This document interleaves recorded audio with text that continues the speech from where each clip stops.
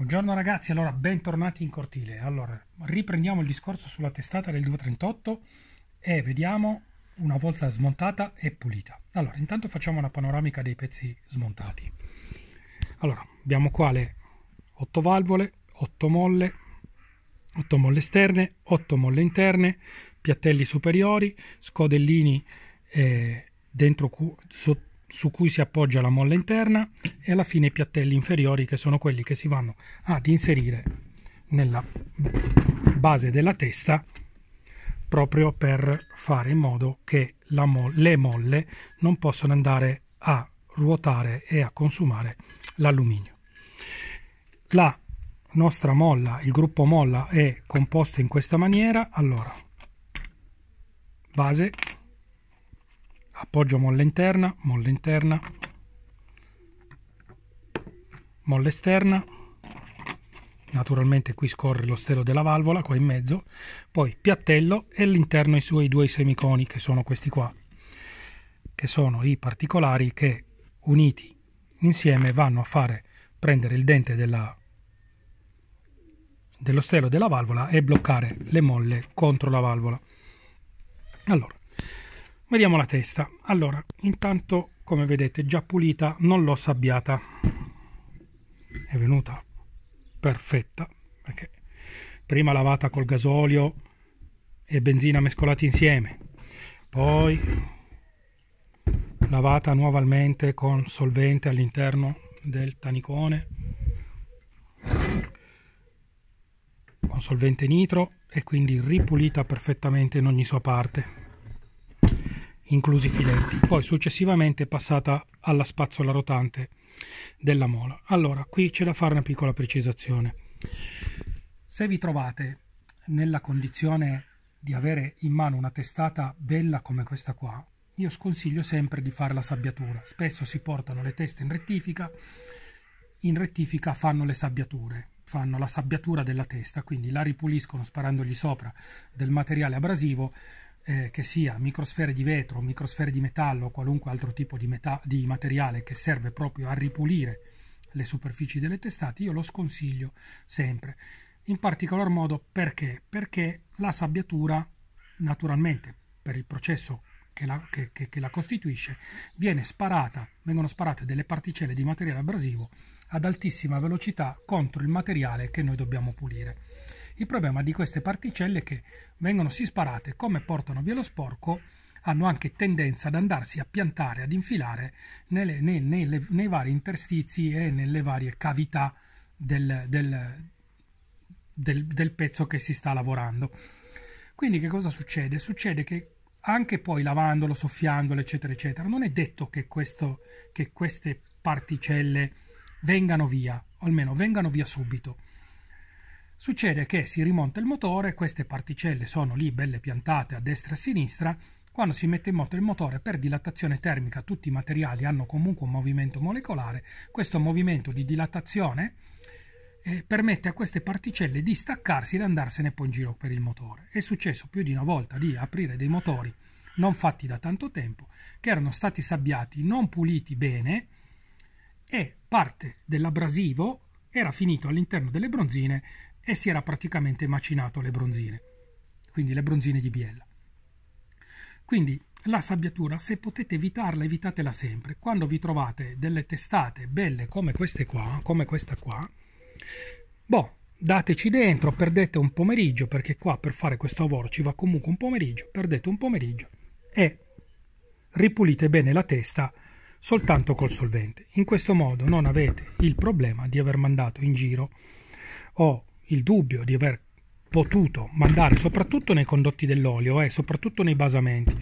Perché finché si tratta della testa bene o male sai eh, e se qualcosa che rimane piantato nei condotti tra la base d'appoggio delle, delle guide valvole e, e, e la testa eh, il motore lo aspira così come lo aspira poi lo butta fuori senza creare grandi danni. Ma se è roba che invece vi va a finire nei condotti dell'olio quindi che magari rimane piantata dentro i ritorni, i ritorni dell'olio che potrebbero essere condotti tipo questi, i ritorni dell'olio verso la coppa. eh, quella roba lì vi finisce poi direttamente dentro l'olio e dentro l'olio va a compromettervi le parti in rotazione.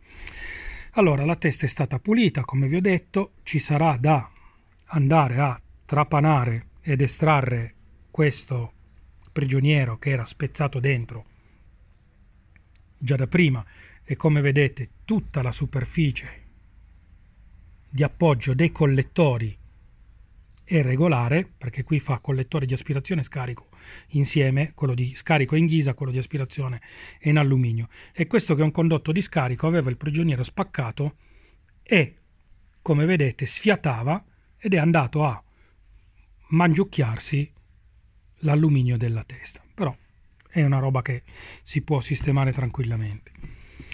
Andiamo a vedere le sedi allora cerchiamo di metterci a favore di luce. Le sedi valvole come vi ho detto sono perfettamente in piano rispetto alla camera di combustione sia quelle di aspirazione che quelle di scarico. La loro parte interna come vedete è stata ripulita quindi non ci sono più quelle obbrobriose incrostazioni che c'erano all'inizio. E per fare questo lavoro dovete munirvi di questi attrezzi qua, avvitatore, varie spazzole rotanti che andremo ad infilare dentro i condotti o e andare più in profondità, questa spazzola per la parte esterna, raschietto per andare a grattare via eventuali incrostazioni o le guarnizioni che si trovano sui laterali, ripulire bene queste qua classiche avvitatore che faccia almeno mille giri e, e avanti a pulire.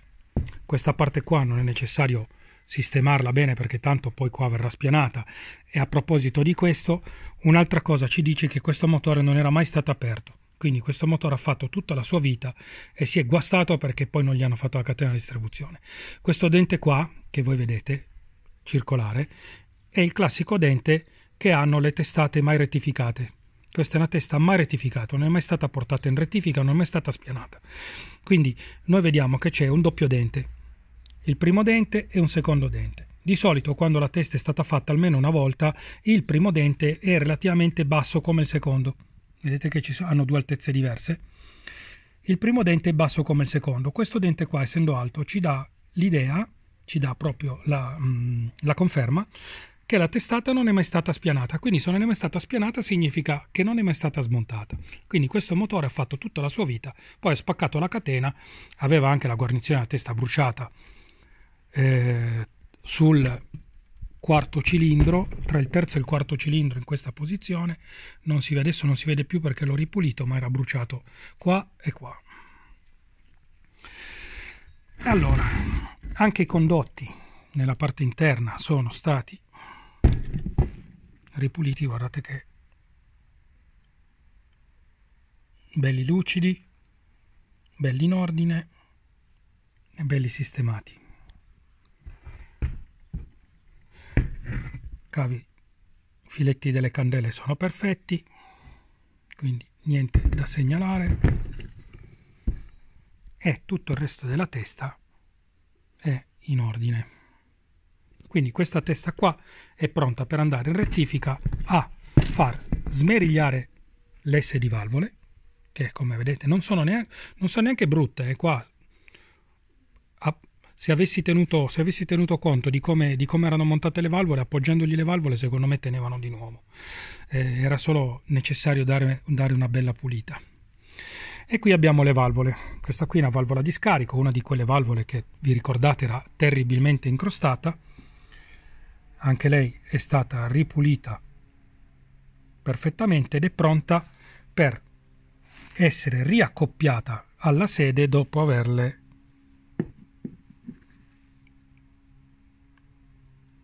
rettificato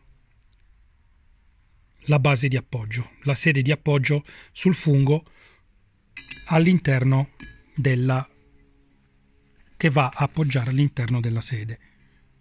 Come vedete la valvola non ha nessun tipo di movimento, quindi significa che comunque nonostante tutto il motore ha sempre funzionato bene e scorre tranquillamente all'interno della sua sede, della sua guida e quindi non ha impuntamenti. Significa che anche facendola girare mentre la si fa andare su e giù, vedete che io la giro, lei non si punta, vuol dire che le valvole sono dritte. Diversamente, se fossero storte, arrivato a un certo punto si bloccherebbero all'interno della sede. Questa è una valvola di aspirazione, anche lei ripulita. E se fate caso, adesso non so se si riesce ad inquadrare bene, la valvola non ha denti. Di solito quando le valvole sono molto consumate eh, o comunque i motori hanno girato male davvero, qui c'è un dente dove c'è la parte più lucida e la valvola è proprio scavata. E altrettanto nella sede c'è un incavo. Invece in questo caso vediamo che il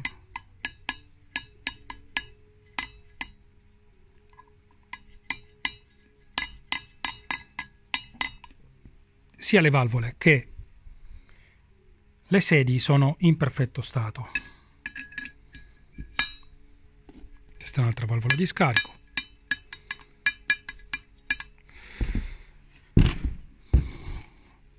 Allora naturalmente ci sono due step di lavori. Allora si può fare un lavoro dove si sostituisce tutto sedi, guide, valvole e si fa un lavorone della miseria e si, e si rifà la testa come fosse perfettamente nuova oppure si fa una rettifica, quindi un ricondizionamento della testata, come in questo caso, anche perché qua non si può andare a spendere 5.000 euro di motore, dove praticamente vengono ricostituiti tutti gli accoppiamenti tra sedi e valvole, poi messi nuovi i paraoli che paroli che vanno a lavorare sullo stelo della valvola quando la valvola è su, lui lavora ed evita che l'olio possa trafilare tra la guida valvola, che è questa qua bassa, e lo stelo della valvola che va su e giù. Facendo questo lavoro si ripristina perfettamente il, il funzionamento della testata senza andare ad impazzire. È naturale che questo lavoro qua deve essere un lavoro che, su, che o vi fate voi, quindi vi fate la preparazione della testa, o andate in una rettifica che sia, come dire, sufficientemente onesta da farvi un lavoro, naturalmente pagando, eh, un lavoro che vale la pena, perché se fatto bene, nessun problema, la testa ritorna praticamente come nuova. Se invece fatto male, cominciano ad esserci magari eh, eh problemi di tenuta del... In compressione dei cilindri proprio perché se le valvole non accoppiano bene alle proprie sedi quando le molle le tengono su eh, c'è possibilità che trafili dal, eh, dei gas in compressione dai cilindri e di conseguenza uno dei cilindri può uno o più cilindri possono andare peggio eh, degli altri Boh, allora, eh, siamo pronti per andare in rettifica, adesso eh, ci ragiona un momento, vediamo se riusciamo a fare qualche video anche là.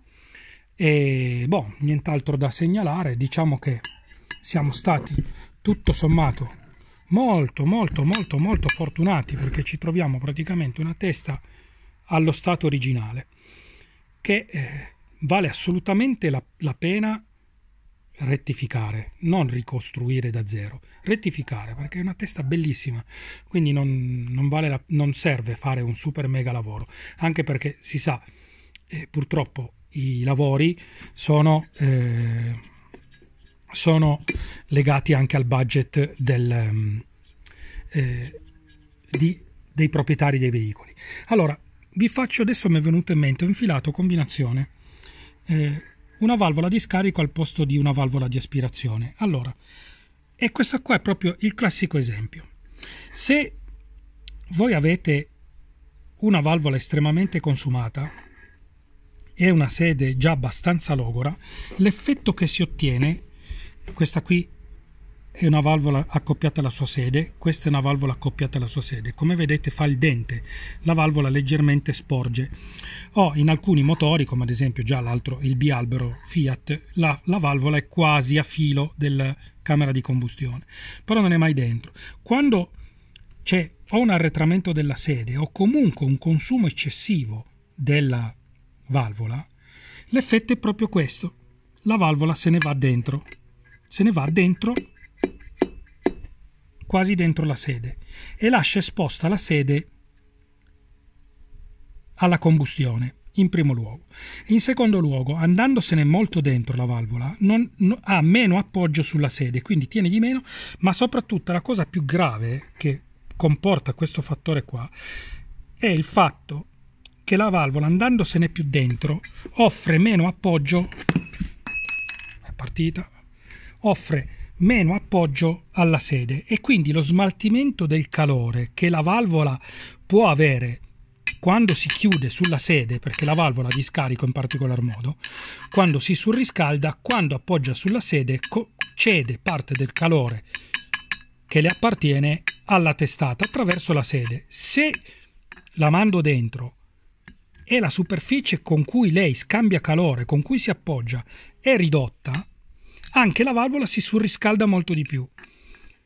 E quindi partono fenomeni di, di, di autoaccensione, partono tutta una serie di cose, oltre naturalmente al fatto che prima o poi quelle valvole si bruciano perché a furia di stare troppo calde perché non appoggiano bene, non appoggiano sufficientemente, non hanno abbastanza appoggio, arrivano a ehm, surriscaldarsi ad un certo punto si bruciano, si deformano e quel, quello, quei cilindri perdono compressione. In più, quei fenomeni lì vanno poi a crettare, a fare delle crepe sulla testa, perché? Perché l'eccessivo calore non smaltito eh, si concentra in, in, in, alcune zone e normalmente il punto dove si crea più danno è proprio tra le due valvole. Ok? Anche questo più o meno spero di avervelo spiegato in maniera abbastanza elementare. Eh, niente, con questa testa eh, abbiamo finito almeno per quello che toccava fare me il resto va in rettifica. Vi saluto, vi ringrazio per essere stati a guardarmi per l'ennesima volta, ci vediamo al prossimo video quando rimonteremo la testa. Ciao ragazzi, alla prossima.